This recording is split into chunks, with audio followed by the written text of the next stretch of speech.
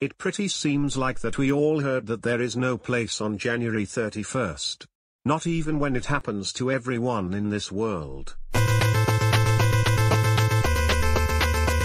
But anyways, a superhero or superheroine is a stock character who typically possesses superpowers or abilities beyond those of ordinary people, is frequently costumed concealing their identity, and fits the role of the hero, typically using their powers to help the world become a better place, or dedicating themselves to protecting the public and fighting crime. Superhero fiction is the genre of fiction that is centered on such characters, especially, since the 1930s, in American comic books, and later in Hollywood films, film serials, television and video games, as well as in Japanese media, including kamishibai, tokusatsu, manga, anime and video games. A swashbuckler is a genre of European adventure literature that focuses on a heroic protagonist stock character who is skilled in swordsmanship, acrobatics, and guile, and possesses chivalrous ideals.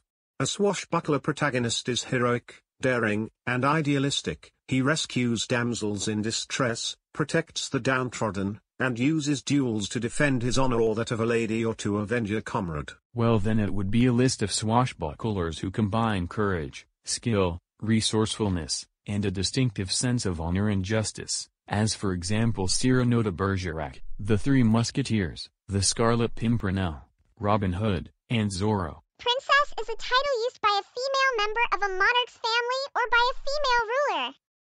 The male equivalent is a prince.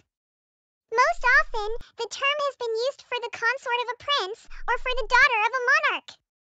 A crown princess can be the heiress apparent to the throne or the spouse of the heir apparent. Oh my god.